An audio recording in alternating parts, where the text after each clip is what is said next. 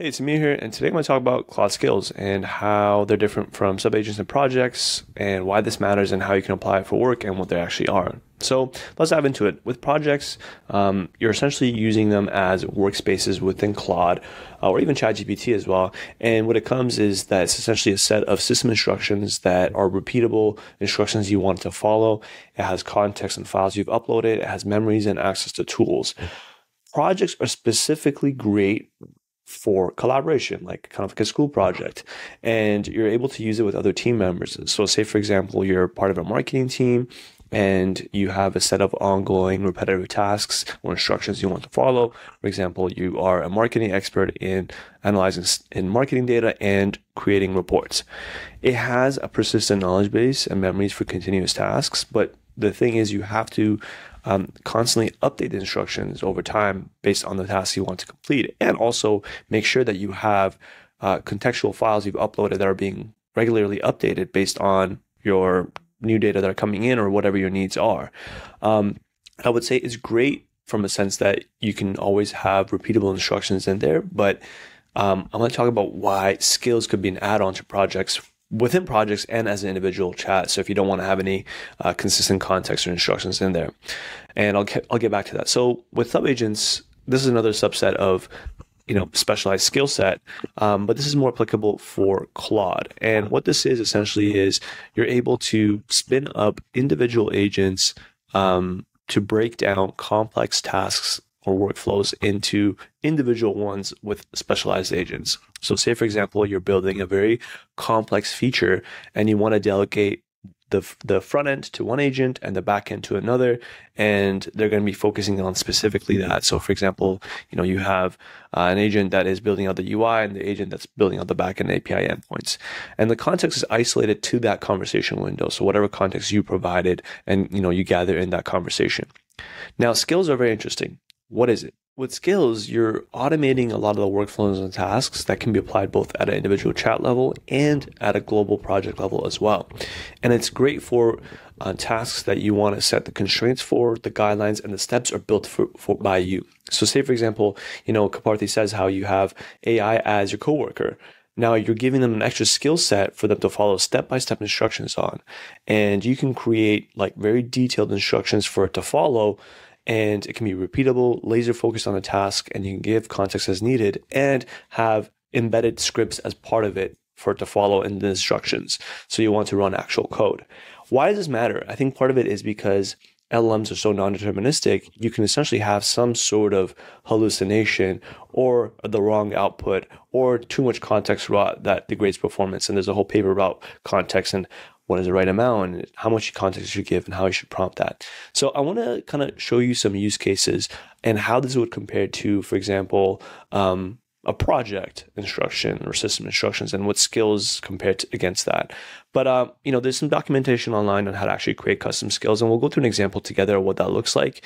Um, but you can also read the docs uh, yourself.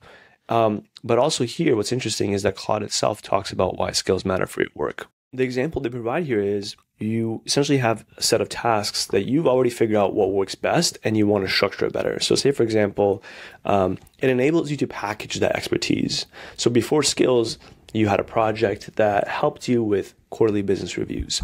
So, Claude can already build presentations, but to get it to match your standards and or stay up to date with your standards and your preferences, you would have to document those guidelines in a project, and it doesn't always automatically apply that. With skills, you're able to use that within a project context or individual chat context and then ask it to create that presentation for you by referencing that skill and it would automatically apply those guidelines and constraints. So it's very much again very refined focused set of instructions that you can use.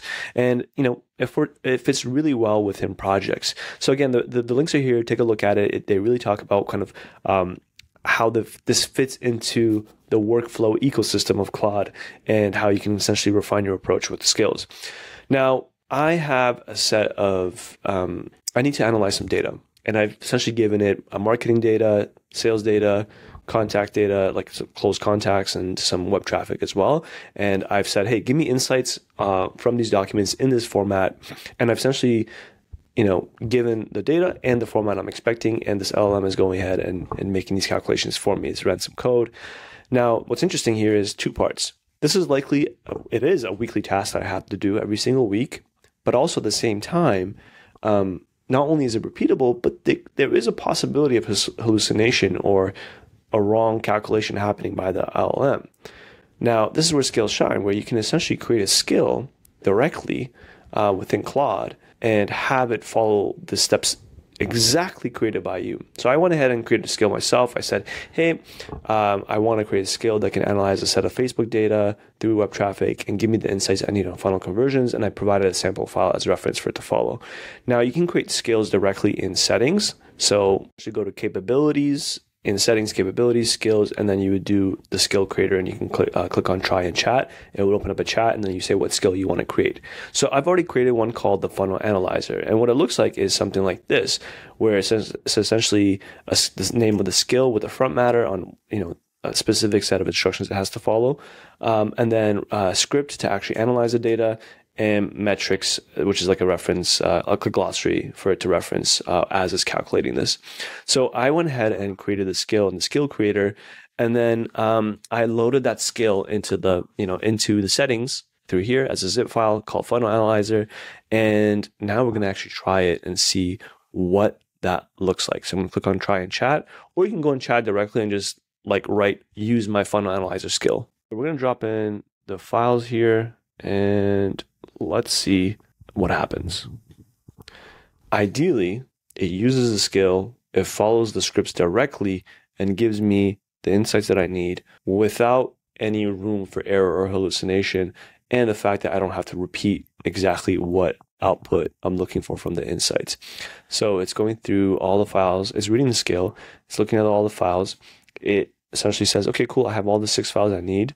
Now it's going to actually write the script and it should be, yeah, analyze funnel. Yeah, perfect. Now let's see what happens. And there we go. So we got a executive summary on what our spend is, our revenue generated, cash collected, and what our ROAS is, and essentially what our current CAC is. So I took a repeatable step, created a skill around it, and I'm using add-on scripts to actually calculate exactly um, what metrics I would need and insights I would need from this. So you can see it has a little bit of a difference between um, what we had captured here um, and then um, what that script is essentially displayed uh, earlier. Now, keep in mind, I had to just change the data a little bit from this original chat and then this new one, um, just because I I realized I need to like switch up the numbers and take out a field because there was an error in how I was analyzing it. But the point is, what the key takeaway here is We've taken a repeatable step, created a skill around it, and we're decreasing the likelihood of any hallucination or errors as part of this process. So I think this is really, really helpful in the sense that we're not only getting we're repeat we're automating a repeatable step, but also have more confidence in the output and the insights that we're getting from this. Um, anyways, I hope I've covered kind of how this is different from from projects and sub agents how you can apply it for your work as well and what you can do. Like for example i did like a marketing insights analyzer that was looking at more top of funnel than revenue. I built one for a b testing for humblytics where it essentially analyzed a site and gave me um, experiment ideas and um, it gave me some like suggestions on what to run experiments for and even artifacts as well. Hope that was helpful. Thanks